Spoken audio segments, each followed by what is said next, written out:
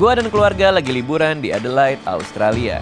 Hari ini gua mau ngasih lihat sebuah daerah di belakang hotel kita. Yang pertama adalah Adelaide Central Market. Jadi ini terkenal banget. Dia semacam pasarnya, pasar pusatnya dia, di mana banyak jajanan. Kita akan coba sarapan di sana. Lalu di daerah Central Market itu juga satu area dengan Chinatown-nya. Kalau Chinatown-nya rencananya kita akan coba untuk makan malam-malam kalau di sana. Let's go.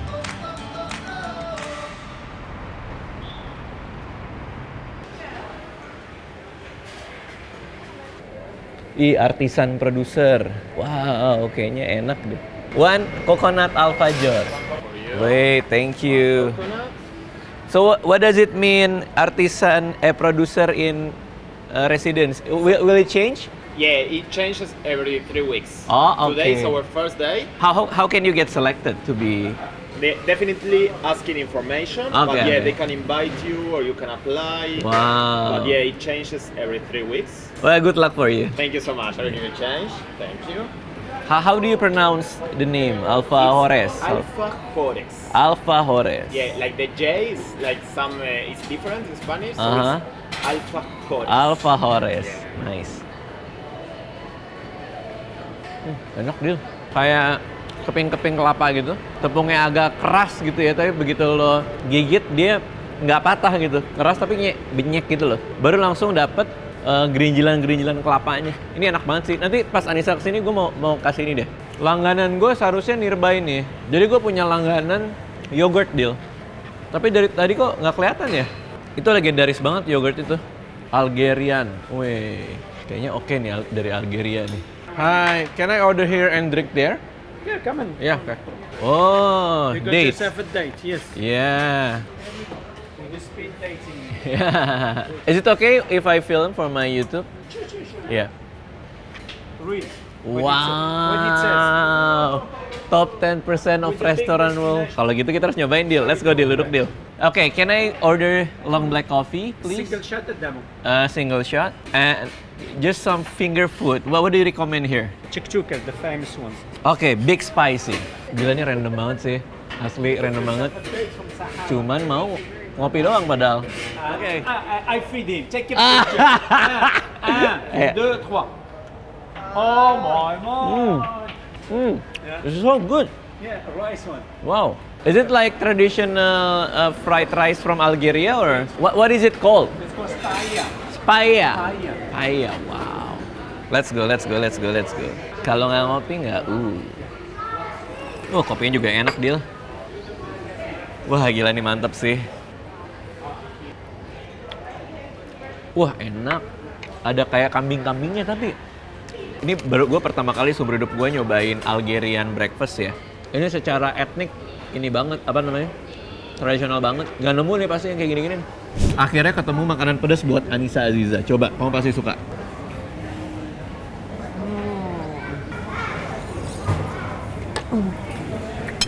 Nggak pernah kita makan kayak gini. Mama, Kita coba ya nasi. Ini ada sambalnya gitu dan pakai ayam. Wangi banget dan baru pertama kali aku makan yang ada kacang-kacangan. Eh kacang polong ya, tapi masih dikeringis-keringisin gitu loh, nggak nggak nggak lembek. Enak enak enak. Hmm. Coba yang ini. Ini dari Amerika Selatan, Amerika Latin. Macem-macem banget di sini. Iya, di situ ada.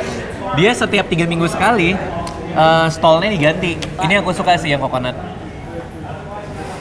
Enak ya? Kenapa ya? nggak terlalu soft cookies ya lumayan bisa dibilang Iya keras soft. tapi dia belesak ke dalam gitu. Tadi aku datang lagi ke, ke dia kan buat ngasih kamu kan. Terus dia bilang, "Kenapa suka ya?" Dia bilang gitu. Iya, iya, iya. Dia baru hari pertama buka di sini. Enak. Versi kayak gitu dibalut coklat. Oh ini kayak bener-bener pasar buat belanja-belanja gitu deal sama buat oleh-oleh. Ya ada sesuatu nggak ya buat Alea? Oh iya bener nih buat oleh-oleh Simba ke sini ya? Ada strawberry deal kita belum makan buah kan? Thank you. Bener-bener pasar ya pasarnya bagus banget eh. Ya Allah adem banget di sini nggak panas sama sekali. Ah gua pernah. Gua di Bandung punya pohonnya anggurnya yang kecil kayak gini ya ampun kita bawa ya buah-buahan nah ini aja kali ya sumpah lucu banget thank you Bagus banget ya Dil tempatnya Dil. Betah deh gue di pasar. Pencuci mulut. Ini Fresh ada. banget kayaknya dia. Iya. Bener kamu beli buah-buahan di Adelaide Central Market.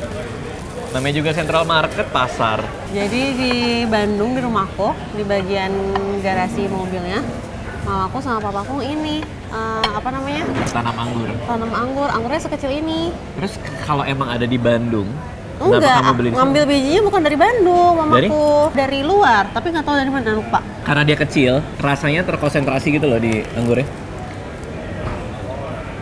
Enak banget. Wow. Aduh, fresh banget ya. Itu tadi kita udah jalan-jalan di Adelaide Central Market. Jadi memang di sini salah satu pusat turisnya juga dan pusat kegiatan juga. Tadi pas gue datang itu sekitar jam berapa? Jam 9. Itu masih sepi banget ya, Dil? Tiba-tiba menjelang jam 10, brrr, rame orang di mana-mana. Jadi kayaknya orang sini kalau keluar rumah emang jam 10-an sih. Feelingku ya. Nah, malam harinya gantian kita explore ke Chinatown untuk makan malam. Ini Beb, Chinatown nih. Wow. Gile, hidup banget, hidup banget ya sih Dil? Gue sebenarnya udah punya beberapa list tempat makan yang pengen gue datengin. Tapi nggak sengaja, gue tertarik sama minuman yang menurut gue unik banget. Yogurt dicampur nasi. Yogurt and rice. Penasaran nggak lo? Gue sih penasaran jujur. Rice yogurt, kita rame-rame kita cobain.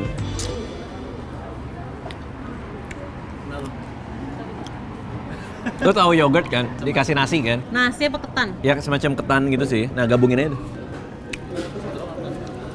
Nah cobain dulu. Surprisingly enak loh, jujur. Tempat selanjutnya kita makan di Chinese restaurant yang punya sejarah di mana dulu gue pernah bikin perpisahan sama teman-teman gue. Hmm, baunya mantep. Hai, one crispy duck, sizzling barbecue beef ya. Uh, lemongrass chicken, ya kayak lemon. Tapi kok sepi ya, dulu ini rame banget loh. 20 tahun lalu. Tapi dia masih berdiri di sini aja setelah 20 tahun tuh prestasi ya. Ya karena ini ini restoran-restoran Mari, mari, mari, sabar, mari. sabar, sabar. Sikat, sikat, sikat. Sabar, sabar, Kelihatannya udah lapar ya? Iya, kayak wangi banget soalnya. 3, 2, 1. Nggak masuk lagi. Oh, was it? Crispy chick, eh crispy duck. Astaga enak banget. Kamu gigit rasain renyahnya, Beb. Apa bebek begitu, Beb? Hah? Hah? Terbaik Karin. Uh. Jangan salah semua. Hmm, gila. Setelah makan enak, kita tutup dengan es krim. Saking pengennya gue makan es krim, ternyata sendok yang gue ambil, sendok bekas orang dong. Saking pengen makan, gue ngambil sendok dari situ. Katanya sendok bekas orang anjir. Langsung gue balikin lagi. Ya Allah, gue ciuman sama siapa barusan tadi tuh? Itu mulut siapa tadi bekas gue? Yuk, masuk